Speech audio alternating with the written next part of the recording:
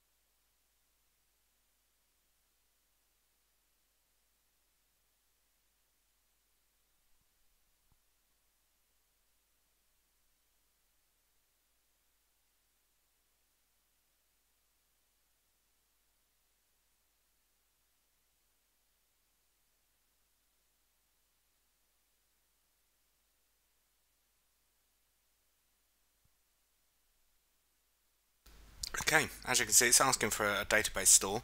Um, just for this demo purposes I'm actually just going to use the local um, SQL Server 2005 Express. You can of course use another SQL store if you want to. Um, you know with larger domains it certainly makes uh, sense to do that, you'll get far better performance but we're just going to go with the, the Express edition for now. There we go. Okay, we don't want to import any data, it's a new fresh install for this demo. Um, so we'll just accept that, click next there we go, and it's done. So we've now got the ADMT tool installed. So what you should see is it should be on your administrative tools menu. There we go. So what we'll do now is we'll move on to looking at uh, actually running some migrations.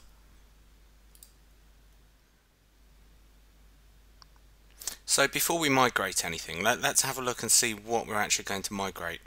Um, I'm currently on my target domain, so this this is our layout.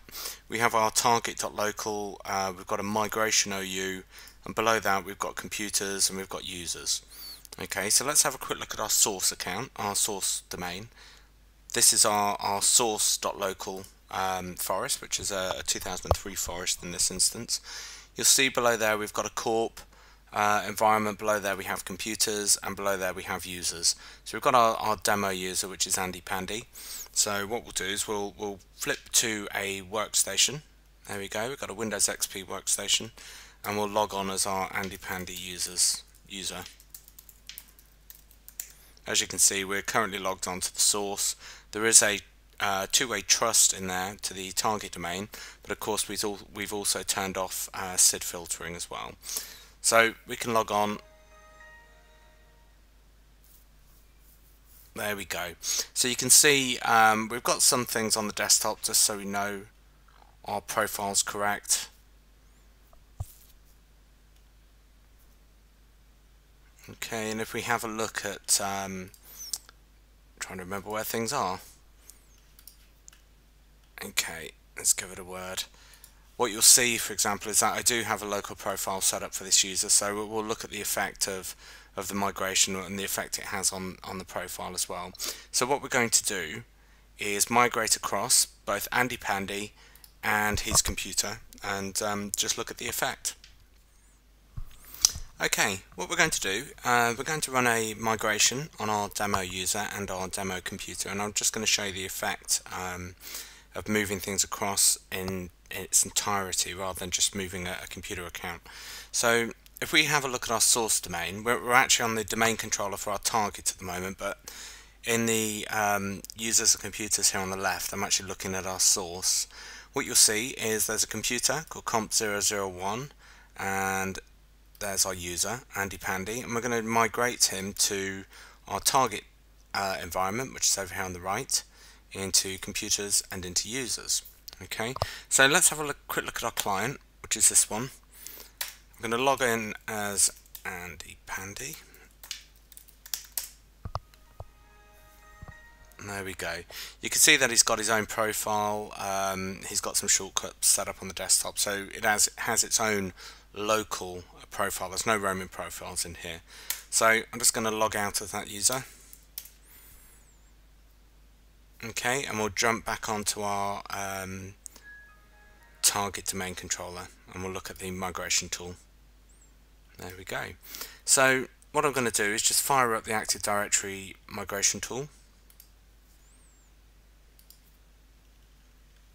Now obviously there's a number of prereqs that you have to meet in terms of access, that sort of stuff, but I've done all that. Um, I really just wanted to show you how simple the overall process could be. So the first thing we're going to do is migrate the user accounts across. Okay, so we're going to do a user account migration. Okay, uh, we're going to select the source domain, which is source local. You can either have it on any domain or you can specify the domain controller you want to use. There's our target. Okay, so we've done that. Next, we're, we're going to select users from a domain. You can feed uh, a number of users into this, which if you were going to do a bulk migration, that, that's the way I would do it. Um, so you could migrate a whole group of users in one go. Okay, I'm going to select an individual user, which is our Andy Pandy user. There we go. Okay, it's going to ask us where we want to put it. Now I want to put it in our migration OU under users. There we go.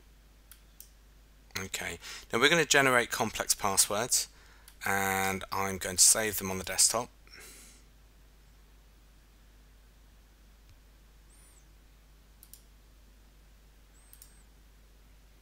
There we go. Now you, you can actually migrate the passwords, but there, there's a service you'll need to install in the source domain to enable that. So, so that's another option for you. Um, but in this instance, just for the demo, I'm going to generate some complex passwords. So we'll click next on that. Okay, so we're going to decide the state of the account once it's migrated. So I'm going to set it as enabled and I'm going to set it so that the source account is disabled after one day or rather the account's going to expire. I'm also going to set it to migrate the user SIDs because that, that's quite important because that actually brings across our SID history. So we'll select that, we'll get a couple of pop-ups now. There we go. It'll say that we have to have auditing enabled, so we'll say yes to enable it. Okay, it'll say the same for the target domain as well, so again we'll enable it. Um, there's something about the groups as well. Again, there's a number of prereqs that you have to meet, but that, that's not really the point of what I'm trying to show you here. So I'll, I'll just let it create all this stuff. So the next thing I need to do is give a username and password for the source domain. There we go okay and we're going to update the user rights um, and that's all. Okay because I, I, don't really have any groups in anything in my migration um, demo here. So we'll select that click next. Okay we don't want to exclude anything. We shouldn't have any conflicts because it doesn't exist in the um, in the destination. So we'll say do not migrate source object if a conflict is there. Okay and it now should go off and migrate our user there we go you can see that one user was examined one was copied across okay now if we have a look in our target domain Let's refresh. We should now see our Andy Pandy user. And if we look in passwords, we should see that we've got a complex password there. Now, I'm going to log on as this user, but what I'm going to do is actually just reset his password, just save me having to remember that, that complex one. Okay, now, if all we do is migrate the user, and let's log in as our user now in the target domain, what you'll see is while the user's been migrated, we'll now get a fresh profile. We won't get the profile the user used to have.